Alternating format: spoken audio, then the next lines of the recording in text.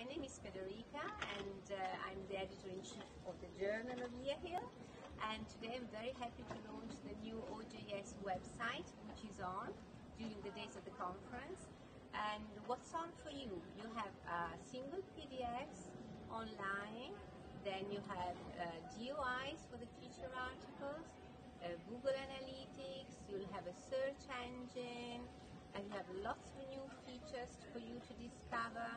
There is still work to be done, so don't start asking for corrections. And um, also the newsletter is online. The whole collection of the old newsletter is online, so that is actually the history of here.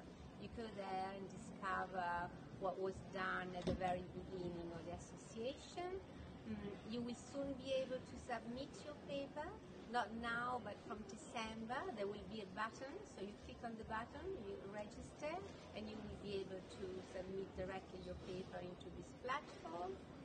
Um, and um, I take this opportunity to thank all the members of the tutorial board and especially Marshall because we've been working together for this uh, uh, task that has just been accomplished and so